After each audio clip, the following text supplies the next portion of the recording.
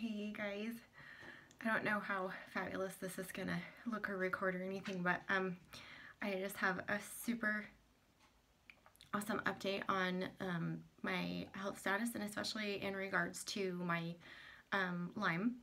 Uh, if anybody knows, I was diagnosed uh, about three and a half years ago and I was pretty sick for a while.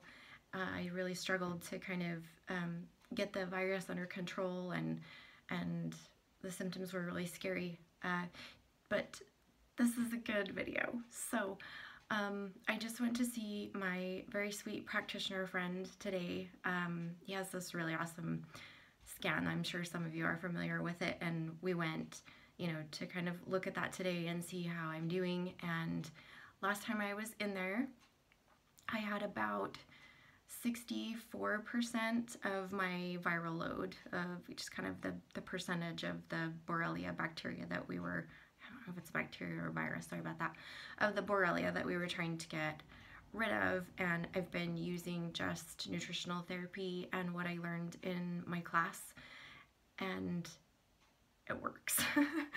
um, because he literally had to look to find it. It didn't come up as a problem um, and when he did go in and find it, it showed that there are only 3% left. So I think I was there like nine months ago and had um, the 64. So from nine, nine months, nine months, we've gone from 64% to 3%. So basically I don't have Lyme.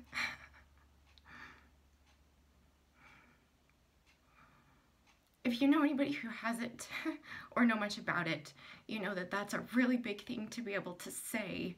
And anyway, just I'm hugely, hugely grateful and God is amazing. I mean, everything always comes through him, but this is just like literally borderline miraculous. Lyme is really hard to manage. It's very hard to get rid of and and I'm doing so much better than anybody thought I would do. So just fabulous news and I'm super grateful and I think that you should celebrate the victories in your life. I didn't want to let this pass unannounced because it's huge for us. So I love everybody that has has kind of been following it and supporting it and been so sweet to me and nutritional therapy works people. love you guys. Bye.